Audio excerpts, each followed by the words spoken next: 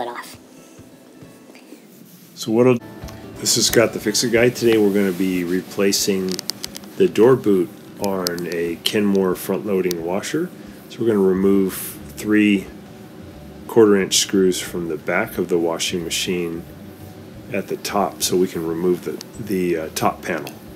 So once you get these screws out, you're just going to lift up a little bit on the back of the top panel and then you should be able to wiggle it out and just put it off to the side. So next we're going to remove the detergent drawer. You have to push down on a little tab to get it out. We're going to use a Torx 15 bit to remove one screw here on the left. And now you should be able to grab this upper control panel and wiggle it out. And we're just going to lift that up and put it put it out of the way. We're trying to get to the front panel to remove the screws that are holding it in. So it's just a couple screws here that are the quarter inch type. Just spin those out. And then we've got a couple of Torx 15 screws that are on the door lock.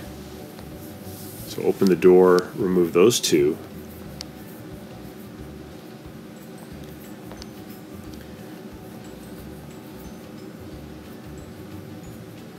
Those off.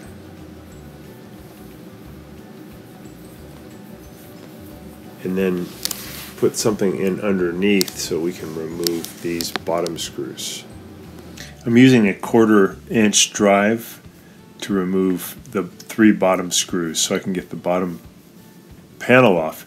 Once I get the bottom panel off, I'll be able to get to the fasteners that are holding on the bottom part of the front panel. It is good to elevate it a little bit so it's easier to get to the screws. So I pulled off the bottom panel and then I just have a couple of more screws I got to pull. And these also are quarter inch.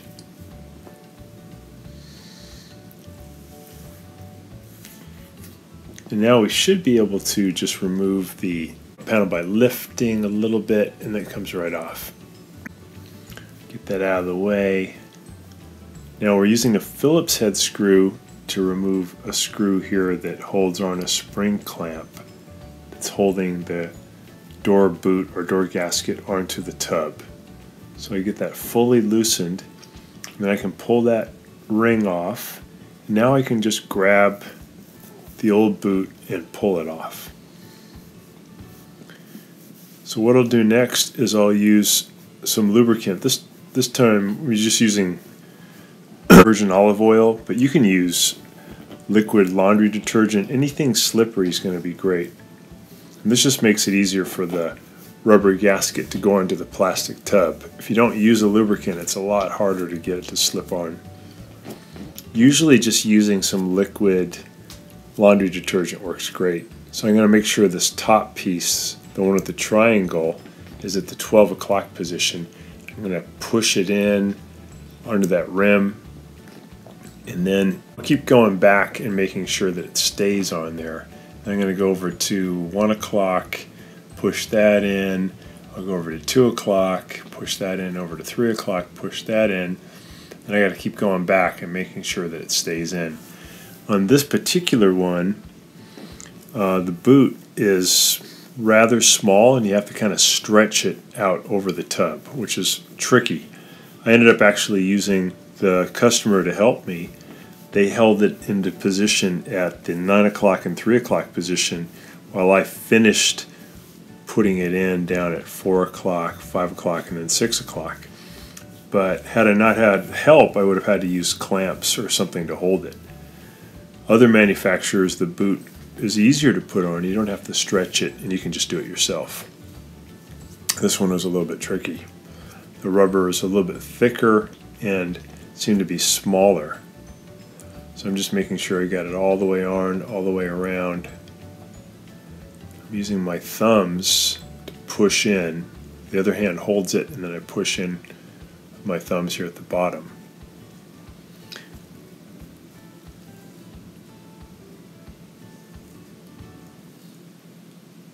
There we go. And now we got the put the ring back on. So we're going to tighten that up with the Phillips head screwdriver. This is the one that holds the door gasket onto the tub. And you want to get this pretty tight. So you want to go with your Phillips head screwdriver basically until it's giving you a lot of resistance. So we got that on strong. We don't want that to come off later. Because then you have to do the whole disassembly again to get to it. So get that, that on tight and I'm just going to tug on it a little bit to make sure it's not going to come off. And now I can put on the front panel, just re reinstall it. So I got that back on, and I'm pushing the boot in now inside the tub, just kind of get it out of the way. Putting the front panel up into position. Have to fit the, on this upper white panel, I have to fit the lip in underneath the silver panel here. I'm putting the quarter inch screws back in to hold it in position, one on each corner. Putting the ones on the bottom to hold it on. And on the right corner.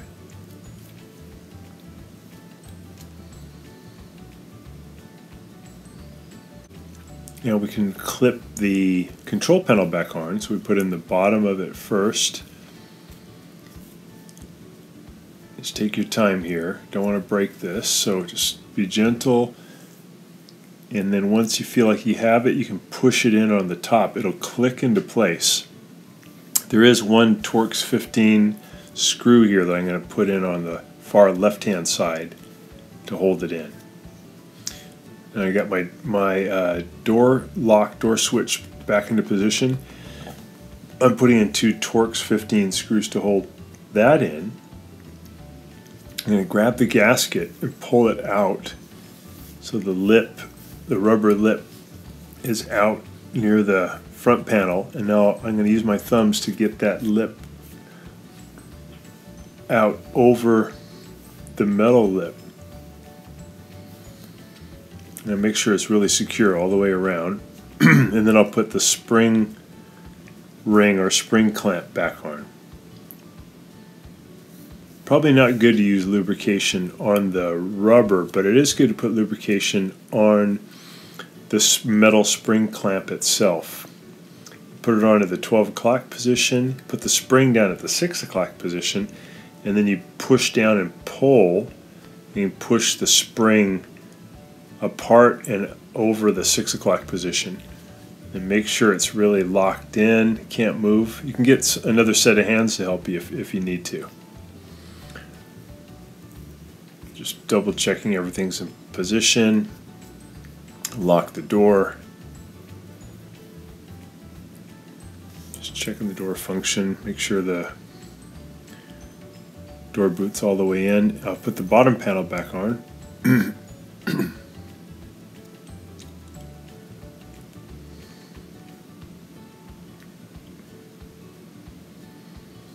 and I'll put those three quarter inch screws back on the bottom panel. This is a panel you can remove too if you ever need to uh, clear the drain. If the drain is, the coin trap is blocked, you can just pull that panel and the coin trap's right there. Also, it's pretty easy to, to take off the motor control board if you need to by removing that bottom panel. All right, so we got a new drip tray there. We got a new gasket. got the three quarter inch screws on. We got to put on the top panel, and then there's just three screws that hold that on on the back, and we're done.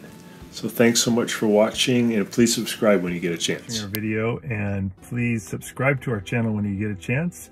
And also click the little bell notification button so we can send you uh, weekly videos on all the different ways of fixing appliances around your home and saving you lots of money.